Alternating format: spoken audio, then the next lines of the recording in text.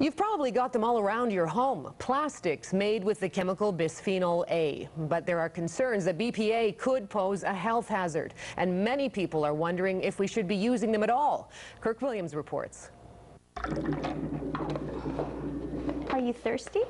Chances are 17-month-old Deanna is more interested in her spaghetti than all the plastic that is part of her modern life.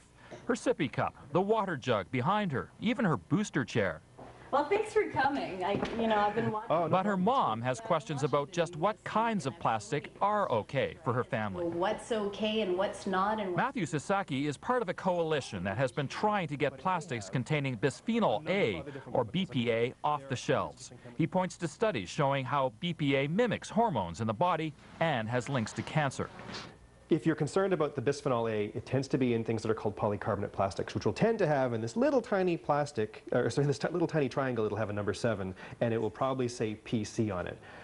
The worry is that BPA may leach into food and liquids, especially if they're hot.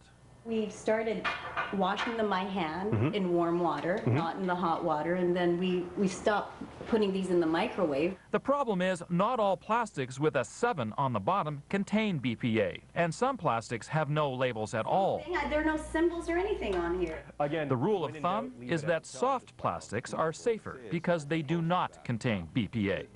We err on the side of caution. We try and use plastics as little as possible. Sasaki uses glass or ceramics at home.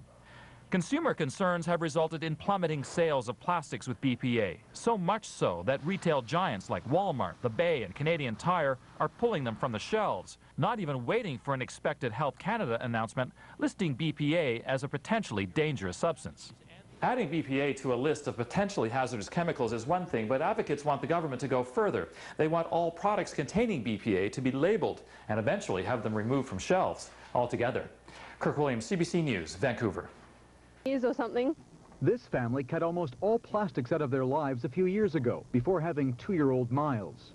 We're, we're playing a, a real game of Russian roulette with our children and with our health, uh, which is not just bad for us, but it's also ex extremely expensive, um, healthcare costs and whatnot. And just across the street from Mountain Equipment Co-op's Vancouver store, rival A.J. Brooks Outfitters discontinued polycarbonate products